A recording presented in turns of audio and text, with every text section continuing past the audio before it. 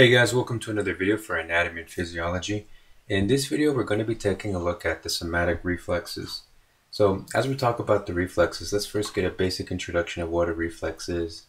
Uh, the nature of reflexes involves four essential steps. Okay, the first one being that it requires stimulation. These are not spontaneous actions, you have no control over these, but they do require some sensory input. For example, you know, accidentally touching something hot or sharp, they're also very quick. Okay, so these involve very few interneurons, if any at all, and there's minimum synaptic delay, so very quick. So because they're quick, they're also very involuntary, which means you don't have any control of, over these. These are essentially automatic. These happen without your awareness, without your intent. Uh, very difficult to suppress uh, this um, this reflex or any of these reflexes that we're going to talk about um, in the next uh, few minutes. And so awareness on, on the human part uh, usually comes after the fact. Okay. Now, lastly, they're stereotyped. What this means is that they're essentially, uh, the, the response is essentially the same every single time. It's a very predictable response, unlike um, the variability of voluntary muscles. So, for example, when I touch something sharp or hot, uh, the response will be uh, typically a reflex of some sort. Okay, so they're stereotyped. Now, much like the action itself is a stereotype, uh, is stereotyped, the the pathway that these uh, signals take is also, for the most part, the for, uh, the same. Now, they differ a little bit in the spinal cord depending on how complex the movement is. So, for, if it's just your arm snatching back compared to your whole body, you know, uh, withdrawing back, uh, then of course that's going to involve a little bit more uh, interneurons in the body because that require that's going to involve a lot more muscles moving and changing and um, calibrating and such. So uh, this pathway that they all that that that they take, that this signal takes, this pathway is called a reflex arc. You know, to illustrate this, try to imagine. Um, you know, every time that you go, you drive to school or you drive to your no, your local grocery store, you're going to essentially take the same pathway, right? If it's a simple trip to the grocery store, you're most likely going to take the exact same pathway every single time. But let's say you got to go to the grocery store and then you got to do some clothes shopping or you want to go buy a book at a bookstore. Now, now it's becoming a little bit more complex and perhaps maybe to become more efficient, you're going to take a different pathway. Okay, so the complexity changes uh, the, uh, with the amount of uh, increased coordination that is required. So for the reflex arc, for but for, for essentially though, the reflex arc is going to take the this same pathway uh, and we're going to keep describing this over and over again with each particular reflex that, uh, that we'll discuss. So first of all, you're going to have some uh, you're going to have somatic receptors, and these are going to be in the skin, muscles, or tendons. Okay, so the skin, you have pressure receptors, you have pain receptors that uh, are going to be initiated uh, with with a particular stimulus. Okay, so that's that stimulation that we talked about earlier that is required for the for uh, a reflex to even get started. All right. And so with the somatic receptors, then you're going to have afferent nerve fibers. And this signal, this is the actual signal that goes from the somatic receptors that gets shot up the arm or the, or the leg, and it carries the information to the posterior horn of the spinal cord. Okay, and you're going to notice that. Take notice of that. Every time that we that we initiate a response, you're going to see the signal go into the spinal cord, and you're going to see that nerve fiber. Okay, it's going to bifurcate, and it's going to it's going to split up into the, a, a posterior horn and an anterior horn. Okay, and every time that a signal gets sent to the spinal cord, it's going to go through the posterior horn.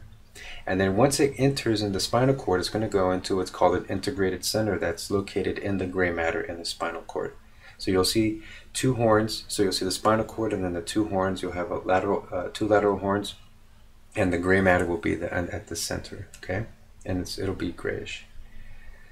And then, uh, and then we have the efferent fibers. Okay, so you have afferent fibers that go into the spinal cord, and then you have efferent fibers that E exit the spinal cord. Okay, so this is a signal that got integrated in the spinal cord, and now it's being sent out, and it's being sent out to um, to your motor, to your uh, to your muscles.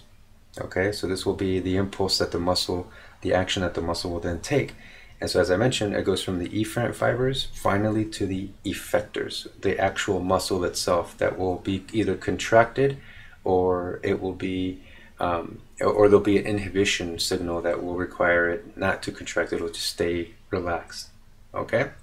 So keep this reflex arc in mind with every single reflex that we will discuss. So the first example of a reflex arc that we're going to look at is a tendon reflex. And to be more specific, we're going to look at the patellar tendon reflex arc. Okay, we've been through this before with a doctor checkup where they'll check your reflexes. Uh, you'll sit on the table and he'll, he'll lightly tap on your patellar tendon with a hammer. And that's going to initiate a signal that's going to shoot up the leg. Okay, so that, that signal will excite the nerve endings, as we mentioned before. And then that signal will go up the afferent fiber. Okay, it goes up the afferent fiber and then goes into the spinal cord, or before it goes into spinal, spinal cord, it goes into the dorsal root, the posterior side, the posterior horn uh, of the dorsal root. Okay, remember we mentioned that before? So it goes up the posterior dorsal root and then it, it, it goes into the spinal cord, the interneurons. This is the integrating center now. All right, so in the spinal cord. Now notice here that that this path is going from the spinal cord and then it's going to go into the anterior uh, the anterior root. And, and notice that it completely bypasses the brain, right? We mentioned before how, the, how these um, reflexes are quick and they're involuntary. So this does not require any processing in the brain. So we're in the integrating center now. And at this point, it's, another signal is going to be sent through the anterior horn, okay? It's going to go to the anterior horn, and this, this signal is going to go to the quadriceps. Okay, now at the same time that that signal goes to the quadriceps, there's another inhibitory signal that goes sent that gets sent to the flexors, to the hamstrings. Okay, and so that inhibitory signal is going to prevent the hamstrings from contracting. Okay, so they're going to stay relaxed. And then the excitatory signal will go to the quadriceps, which is going to cause the quadriceps to contract, and it's going to shorten, and then that will result in the patellar reflex. Okay, so again, this is called the patellar tendon reflex arc with reciprocal inhibition of antagonistic muscle.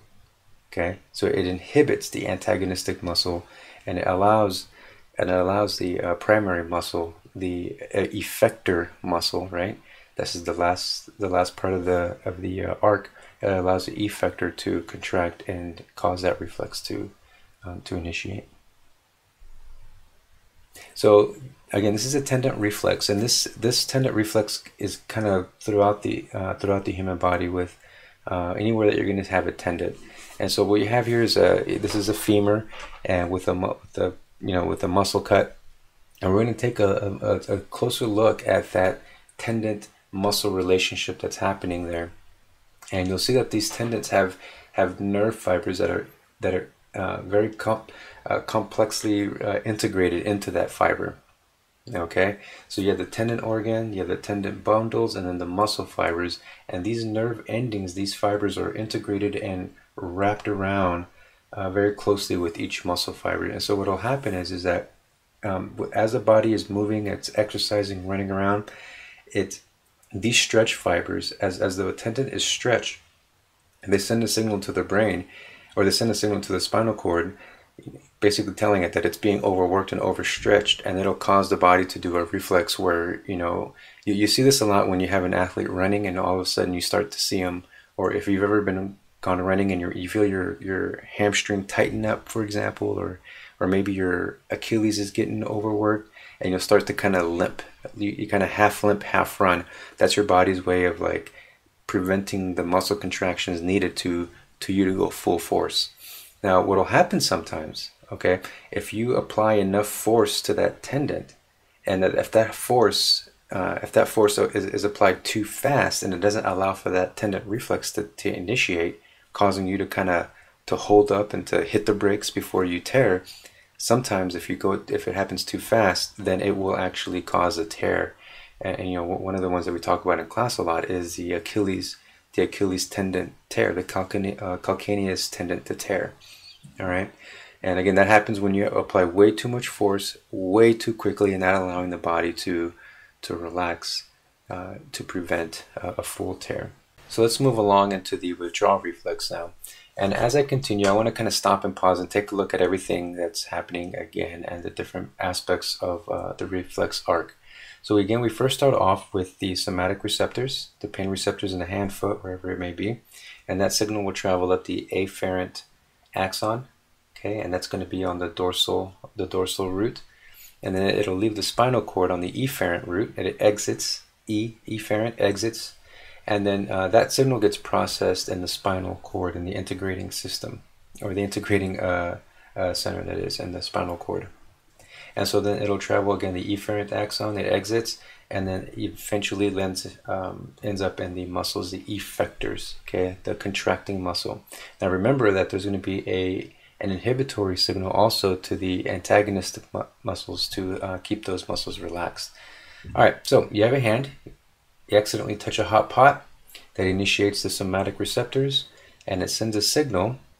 It sends a signal down the afferent dorsal fiber of the um, of the nerve, right? And it goes ends up in the spinal cord into the integrating center, and then you have your interneurons that process that signal, and then they send the signal right back. The efferent, the, it exits the spinal cord, landing back at the effector muscles, causing a contraction, causing a withdrawal. Very quick withdrawal, uh, very quick, very fast, very stereotyped. Same response every time. It's probably happened to you a million times the exact same way. You cannot suppress it. There's no intent. It's involuntary, very quick, right? Now we're going to be looking at a more complicated scenario that typically happens. Now, keep in mind that the withdrawal reflex, there's an orchestra of things happening in the human body. And so we're really trying to simplify what's happening here. So again, this is a withdrawal with crossed extensor reflex. So what does that mean? So let's let's play out a scenario where you're walking around. This has actually happened to me a couple times. There's two times in my life that I can remember specifically stepping on a, a nail. I was playing basketball in my neighborhood and we were actually on our way to the basketball court and my buddies and I were messing around and I stepped on a nail and it went right into my shoe and right into my foot. Uh, luckily, there was a fire. De- the fire department was like right down the street. Uh, the fireman came over and just yanked the nail out, and I was like, "All right, man, I'm good." and we just continued on our way to play basketball. I don't even think I got a tetanus shot. I don't even think I ever told my parents.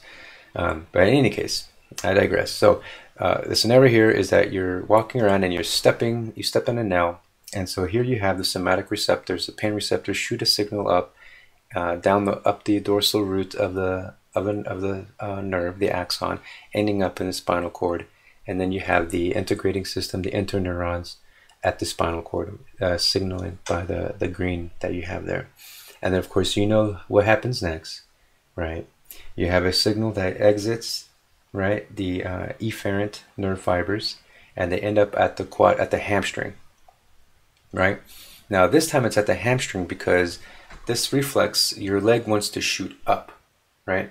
So your hamstrings, your flexors are going to be initiated. They're going to get engaged. They're going to contract, causing the foot to go up so that the, the nail doesn't go up any further into your foot. And at the same time, you have an inhibitory signal to the quadriceps, causing keeping that relaxed, so it does not uh, it does not fight the contracting muscle to keep your leg from. You know, the last thing you want to do is to keep stepping on that nail on purpose, right? All right. So now, the interesting thing is, is that you know, as you're thinking about the scenario, when that foot goes up, because that's the planting foot, right? That means that the opposite foot is going to have to now take control and it's going to have to uh, take the, the, the, your body weight. Otherwise, you'll just fall to the ground, which does happen sometimes, right? If you step on something short, you might actually, be, you know, you may not you may not have your other foot ready to to plant to to then carry the weight because now your whole body's off balance. Now, again, I said there's an orchestra of things that happen. Um, in in addition to that foot taking on the weight, your your center of gravity shifting from the planting foot to the other foot, you know, your abs, your core, like, all, you know, all these other auxiliary muscles are engaged to transfer your, your center of gravity from one part of the body to the other instantly, right? Otherwise, you'll fall.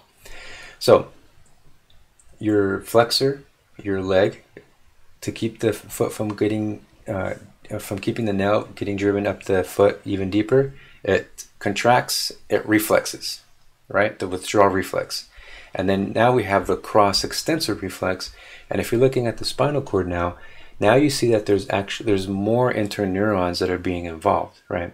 There's there's more coordination that is involved, so there's more uh, nerve fibers that are having to be involved.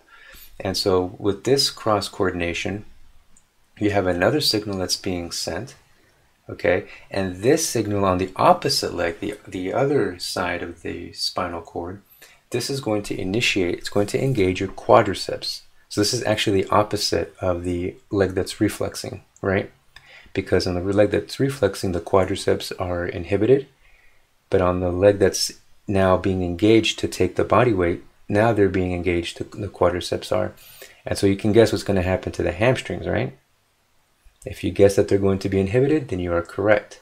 So the other leg is taking on the body weight, so the quadriceps are going to contract, hamstrings are going to relax, and the body is going to shift. The body weight is going to shift to the other leg. Okay, guys. Well, that does it for uh, reflexes. We talked about the tendon reflex with a re uh, withdrawal reflex, the patellar tendon reflex, and the withdrawal with extension. Okay, guys. I uh, hope this helped. Thanks for watching, and good luck on your study.